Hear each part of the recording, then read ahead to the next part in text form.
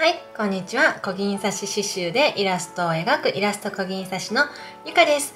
ということでですね、今日は昨日、えっ、ー、と、ここまで刺しました。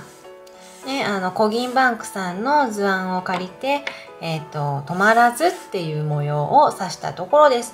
えー、ピンク、淡いピンクと、朱色ですね。朱色の色2色を使ったんですけども、今日はね、これをガマ口に、ちっちゃいちっちゃい、ちっちゃいちっちゃいガマ口に仕立てていこうかなと思います。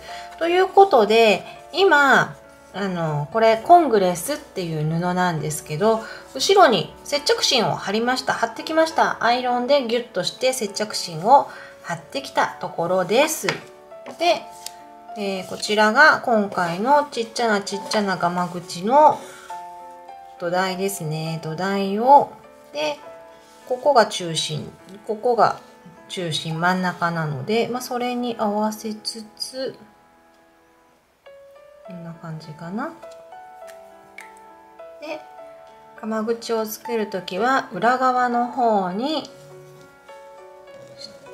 書いていきます。えー、この時はね接着芯をつけてからあのチャコで描いた方がいいです。なぜかというと、ちょっとね、あの、布が縮んじゃうんですよね。なので、最初に描いて、最初に描いて、アイロンをかけていく。るとちょっとギュッとちっちゃくなっちゃうかもしれないので、えー、このね土台の通りとかよくガマ口の本とかにこういうのあると思うのであのは、えー、アイロンかけてからの方がおすすめです。でこっちは中布ですね。内布になります。私の場合は今回はね結構コングレスもしなっとした生地なので、えー、裏の方も、え、接着芯をつけています。でこれも皆さんによってきっとやり方が違うのであの皆さんに合ったやり方が一番かと思うんですけども今回は私がこんな感じで作ってるよっていうのをざっくりと見てもらえると嬉しいです。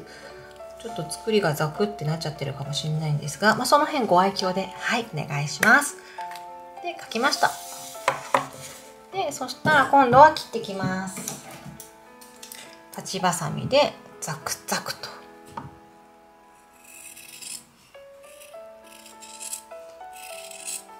ールカッターね使ってもいいかもしれないんですけど結構私マスクを作る時とかはロールカッター使うことが多いんですが今回はちっちゃいのでこのまま立ちばさみで切っていきたいと思います。でカーブもちょっと気をつけてもらいながらでもうね今回は接着芯貼っちゃったんですけどあのこういう布の縦と横には十分に気をつけてもらう方がいいと思います。もうつけちゃったからあれだけど伸ばした時にね伸びない方が縦で横に伸ばした時にちょっと気持ちいい伸びるな布が伸びるなっていう方が横になります今回特にねお財布なので縦と横を気をつけておいた方がなんか小銭がビヨンって伸びないかな？あなんか変な小銭がビヨンってね入れた時にあの下に落ちていかないかなと布が伸びないかなと思います。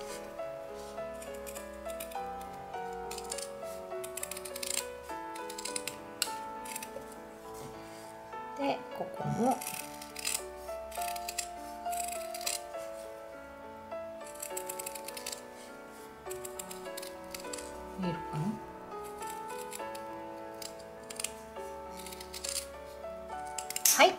ました。あ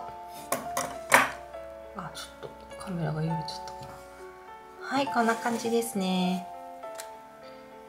でゴミも捨てて。そしたら今度はミシンをかけていきたいと思います。えっ、ー、と、ミシンの場合は、ここを半分に折ってもらって、でここから、えーと、大体 5mm ぐらいのところを私はまずこうやって縫ってこっちも縫っていきたいと思います。でこっちもですね半分に折ってもらって 5mm ぐらい下のところをぐっと横に縫っていきたいと思います。では行ってきます。はいということで今ミシンの方をかけてきました。こんな感じですね。横を縫ってで後ろはねマチをつけてます。ここはね1.4センチぐらいかな。こうやって潰して1.4センチにしてますね。でこっちが中の布になりますね。でこっちは表なのでぐるっとひっくり返してでこの端っこもキュッキュッとこんな感じ。ちょうど。で下がこんな感じでちょっと可愛くなりますよね。で中の布を入れます。ここ端っこね割るようにして入れてもらいます。すごいくるくる回っちゃった。いしょ。グッと。でギュッギュッと合わせるようにこっちもギュッと。かな。こんな感じですね。よいしょ。ちょっとサイズが違ったかな。そんなことないかな。よしよし。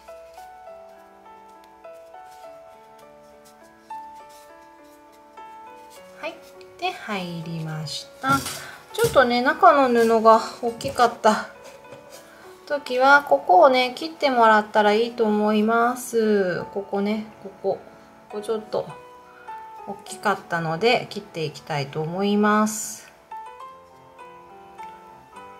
はいということでこの部分も切りました。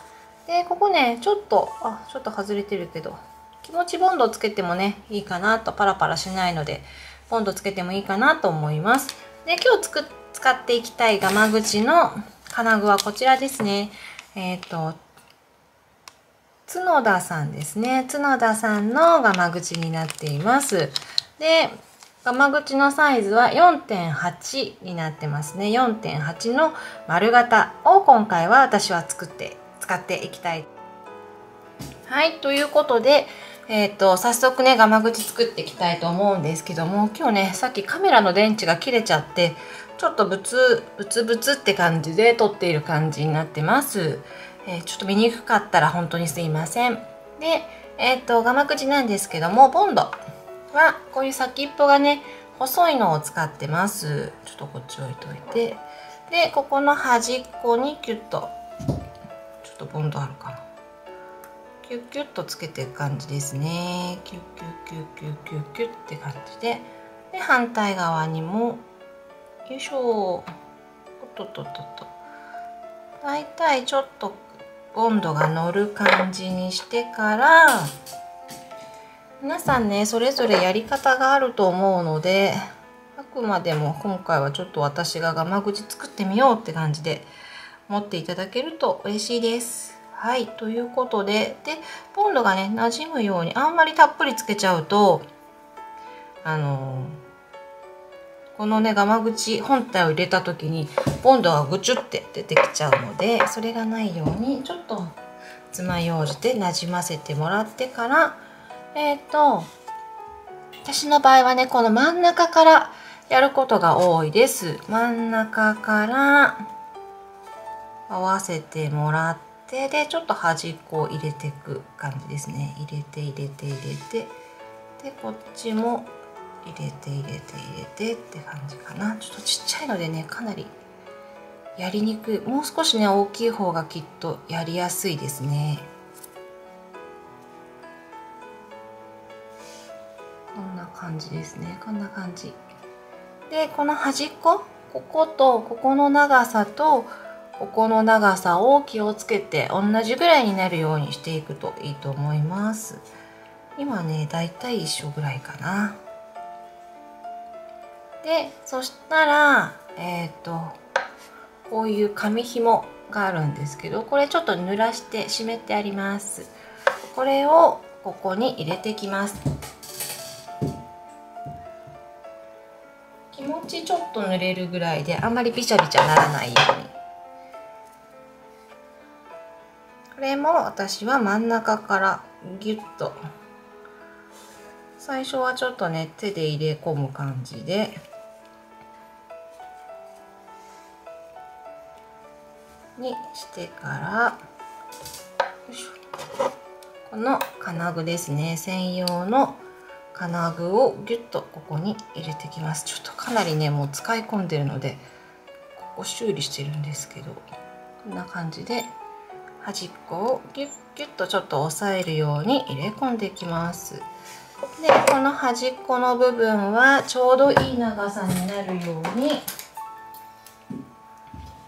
ハサミでチョキンと切ってもらって。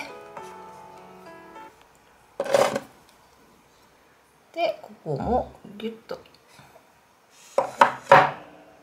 ちょっとボンドが出てきちゃったかな。ごめんなさい。で今度こっち側もギュッギュッと入れてもらって見えるかな。で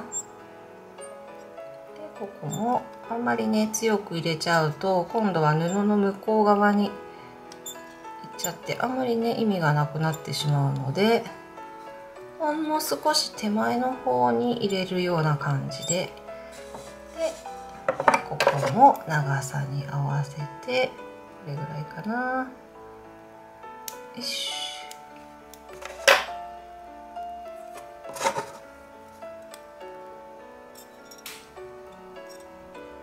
でギュッと。はい入りました。こんな感じで、えーと、と金具はつけていけばいいと思います。そしてこっちの反対側もやっていきたいと思います。はいということで今ね反対側もガマ口の方をつけました。でこの端っこのところにあのもうちょっと固まってボンドが固まったかなっていう時にこの押さえですね。この押さえをここでギュッて止めてもらえるといいかと思います。ここの4つかな。こことこことこことここですね。でそうしたら閉じてもらってでここの端っこをちょっと中に入れてもらうと三角に三角っていうかぷっくりする感じかな。今回はぷっくりがま口って感じですね。でバランスを見てねいい感じにちょっと膨らませてもらったりしてパチンと。はい。そしたら今回は一つの1枚のねこういう図案のあ図案じゃないな。こういう1枚の型紙だったのでこれをくるんっていう感じなのでねこの下も綺麗に切り替えが見える形になっています。はい。あのあくまでも私のやり方なので参考の一つということでお願いします。でここにねちょうど丸いところが金具があるのでここにね例えばこういうボールチェーンとかを通してもらって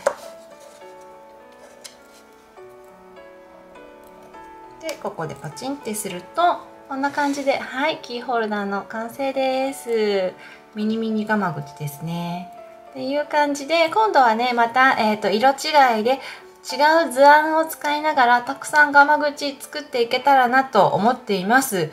あのいつの投稿になるかわかんないんですけども、えっ、ー、と、ガマ口と布だけはいっぱいあるので、あとね、図案はコギンバンクさんの方からね、使わせてもらってるのでたくさん作っていきたいなと意気込んではいます。はい。皆さんもね是非図案バンクあじゃない図案じゃないコギンバンクさんのの方の、えーと、モドコっていうところからたくさん図案があるので、えー、やってみるといいかなと思います。可愛くできました。はい。ということで今日はこの辺にしたいと思います。長い時間見ていただいてありがとうございました。また皆さんに楽しんでいただけるような動画作りをしていきたいと思います。イラストか銀刺しのゆかでした。それでは今日はここまで。またね